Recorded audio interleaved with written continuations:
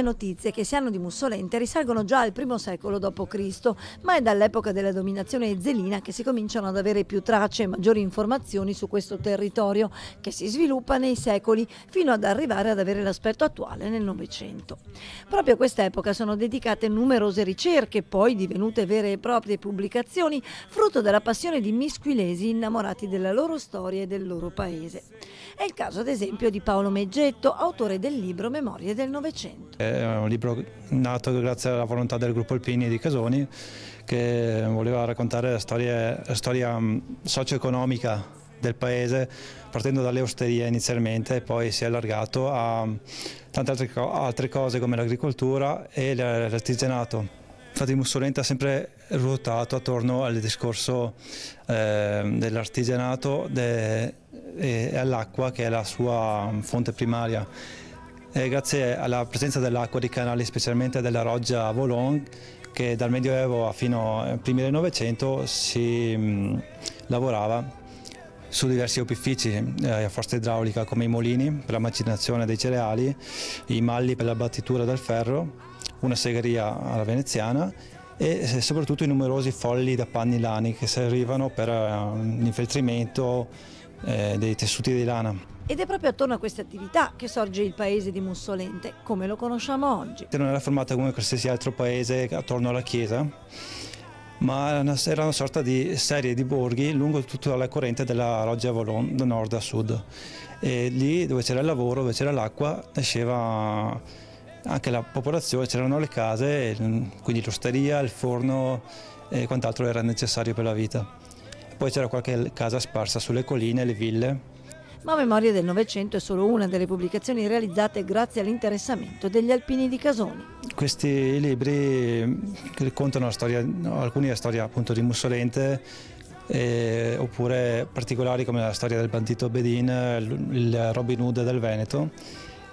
o altre storie che invece riguardano ehm, più in generale la zona nei dintorni riguardo il periodo della resistenza, quindi il Monte Grappa, i partigiani sul Grappa o altri aspetti di quel periodo. Proprio il campo di aviazione è uno dei luoghi che meglio raccontano una delle pagine più significative della storia di Mussolente, il primo conflitto mondiale, al quale in occasione del centenario l'amministrazione ha dedicato una lunga serie di eventi e manifestazioni. Sì, qui a Mussolente abbiamo organizzato tantissime cose eh, proprio per il periodo, per ricordare il periodo del centenario della Grande Guerra. Eh, molte sono state le iniziative che abbiamo portato avanti assieme eh, in modo particolare al gruppo Alpini di Casoni. Eh, sono state realizzate fatte delle pubblicazioni eh, in modo particolare per quello che ci, riguarda, che ci riguardava da vicino, ovvero il campo aviazione. Eh, il campo aviazione di Casoni è stato uno dei più importanti proprio perché si trovava ai piedi del Monte Grappa, quindi strategicamente eh, un, un, luogo eh, molto, eh, molto interessante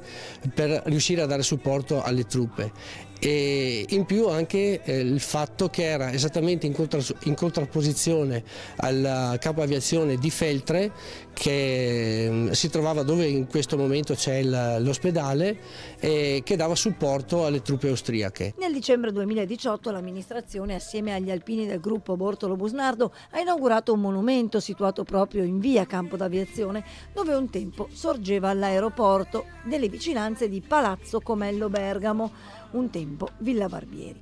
Qui durante la prima guerra mondiale decollarono verso il Grappa e il Montello alcuni degli assi dell'aviazione dell'epoca. In questo campo sono usciti tre assi eh, fondamentali,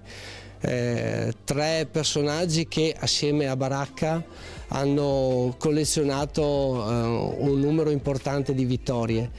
Eh, noi come amministrazione e come, come, gruppo di ricercatori eh, abbiamo eh, fatto uscire un, un, volume che parla proprio del campo aviazione.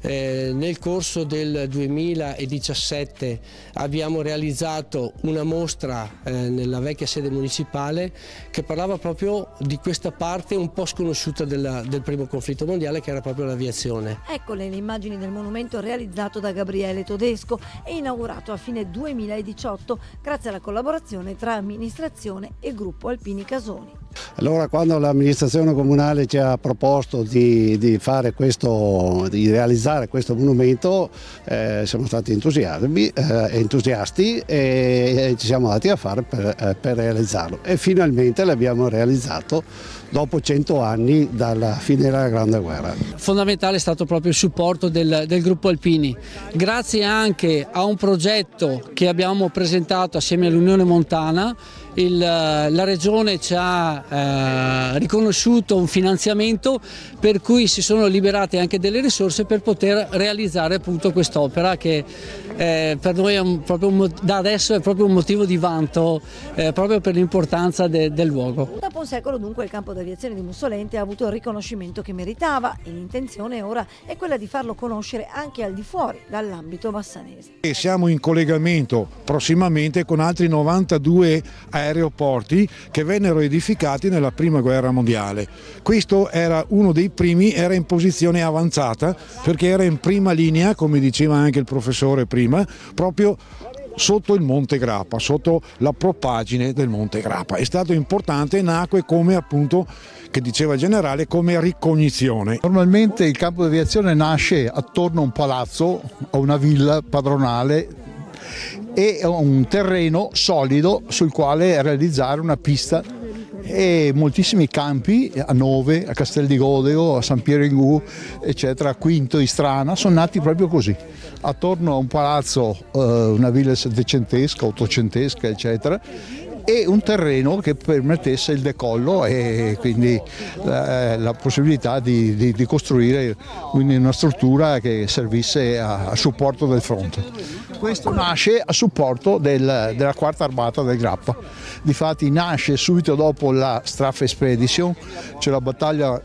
combattuta sull'altopiano di Asiago e nel giugno, maggio-giugno del 16 e quando ci si rende conto che è necessario un raccordo fra l'altopiano, il Grappa e il Piave perché poi sarebbe arrivato a Caporetto e purtroppo questo era il destino di questo territorio in sostanza. Lezione di storia dunque quella che è in grado di fornire da sola quest'area storica di Mussolente, diventata negli anni meta di studenti ed insegnanti. Eh, visitare via campo di aviazione come gli altri luoghi del nostro territorio così ricco di storia significa far ricordare loro, eh, far venire alla memoria che loro, ripeto, sono qui eh, grazie dei, ad altri giovani, ma soprattutto vuol dire conoscere la propria storia per sapere dove andare nella propria vita. Proprio per educare alla storia i più giovani, da sempre l'amministrazione guidata da Cristiano Montagnier organizza incontri, eventi e manifestazioni che permettono a bambini e ragazzi di comprendere meglio e più facilmente il loro passato. Un esempio è la rievocazione dell'eccidio di cinque misquilesi ad opera delle truppe napoleoniche avvenuto il 2 febbraio 1797 un salto indietro nel passato di quasi 200 anni organizzato da amministrazione comunale e comitato per le celebrazioni storiche. Un salto indietro nel passato di quasi 200 anni organizzato da amministrazione comunale e il comitato per le celebrazioni storiche della milizia e che ha visto arrivare a Mussolente i figuranti del primo reggimento Veneto Real e una delegazione di Schutzenasburgici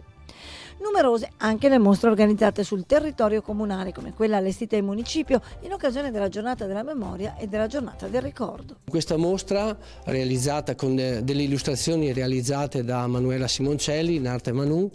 eh, ehm, illustrazioni che sono state fatte per poi essere inserite in un piccolo volume eh, che si intitola La bambina del treno, eh, un libro scritto da eh, Lorenza Farina, eh, con questa piccola mostra eh, siamo riusciti a portare qui moltissime classi sia delle scuole elementari di Mussolente e Casoni che anche delle scuole medie. Il messaggio rivolto ai ragazzi con la mostra è chiaro. Delle immagini mh, fortunatamente non aggressive eh, si è comunque riusciti a trasmettere il messaggio della brutalità di quel periodo eh, che parla sia della, della giornata della memoria che anche la giornata del ricordo. Proprio ai giovani l'amministrazione di Mussolente ha scelto di dedicare ogni anno un importante momento istituzionale che ricorda una pagina fondamentale della storia italiana, quel 27 dicembre 1947, giorno in cui venne promulgata la Costituzione italiana che ogni anno viene consegnata a tutti i neodiciottenni del comune. Diciamo che è un appuntamento importante perché avvicina eh, il diciottenne, avvicina il giovane a quello che è la società civile, ma quello che è soprattutto anche oggi il ricordo di una storia, di una storia fatta di sangue, ma oggi di una storia fatta di agio e quindi loro devono sapere che sono cittadini e che devono mantenere quello che gli è stato donato, quello che gli è stato salvato, quello che eh, da sempre vivono e che magari forse non conoscono. Un, un piccolo simbolo, un piccolo ma importantissimo simbolo che vogliamo lasciare, che abbiamo sempre lasciato anche negli anni scorsi a tutti i diciottenni. È il momento in cui diventano tra virgolette autonomi, quindi devono essere eh, coscienti di quello che fanno, eh, devono essere protagonisti del loro tempo, devono conoscere anche quali sono i loro doveri, perché non dobbiamo pensare che esistano solo i diritti, ma ci sono anche dei doveri ben precisi per essere cittadini italiani.